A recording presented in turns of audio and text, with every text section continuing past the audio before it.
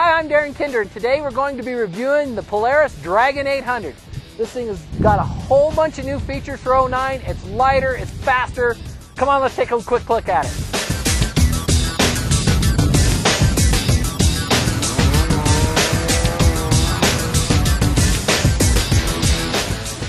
A couple things that I really noticed right away is obviously the throttle response is fantastic.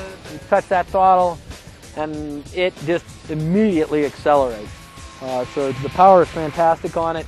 I really like the Pro Taper bars and the bar ends just because it, it's a much sturdier feel, more like a motocross feel, and it also, the way the bar ends hold your hands in a lot better than the older styles uh, that get kind of jettisoned out a little bit. They, they really work well.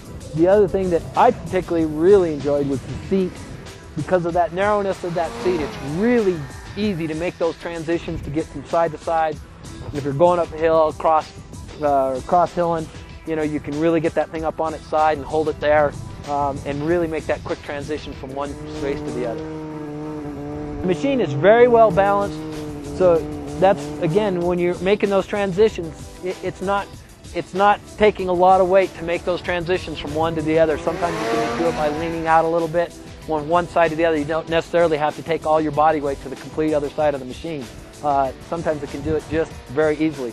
The other thing that I like uh, is in case I do end up on a trail, which I'm trying to avoid at all costs, is the, uh, the Walker Evans shocks and the way the front end is designed. It really sucks up the bumps nicely. You don't, you, you're really not taking that jolt into your body the front end's really taking that up uh, very smoothly. The first thing they've done is they've cut 17 pounds off the machine, and they've done that in several different ways. One thing they've done is in the rails in the back, they've cut that, they've slotted that out. They've also slotted out the track in order to reduce the weight and, and also keep the snow from packing up into the sled as much, keeping it lighter as well. They've also gone in here and they've lightened up the spindles. You can see how they've cut, notched these out a little bit more, just an, all in an effort to cut weight, because as you all know, the lighter it is, and then couple that with the power, the better it's going to go through the snow. So they've also taken and changed the sway bar on the machine, and what they've done with that is they've made it a little bit lighter so you don't get as much body roll in the machine. It, it's a lot smoother when you're going through the bumps. If you have to ride on a trail, this thing will suck those bumps up a lot better, especially with those Walker Evans shocks on it. You also get these new Pro Taper bars, which I really like instead of just having that long neck on it. You've got an actual, a, a much sturdier design with this.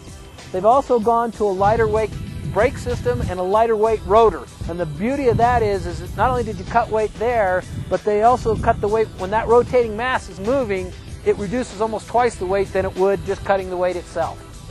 The other really cool thing on this is this uh, new instrument cluster. I know most of you are kind of laughing because you know you've never seen your instruments. They're always covered with snow.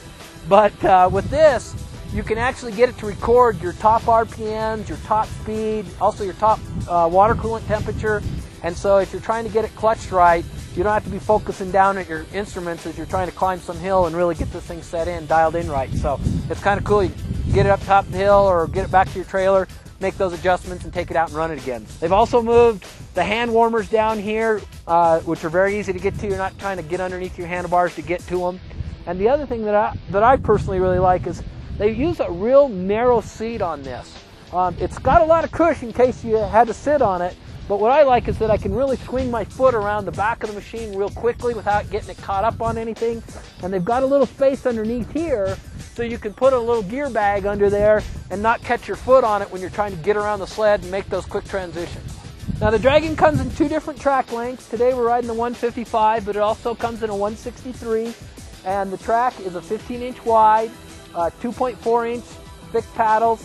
And they've done something kind of cool with the paddles is that they, they use a really stiff paddle at the base, but they use a softer rubber at the top and what that does is it allows the machine to float on the powder better and not trench so much.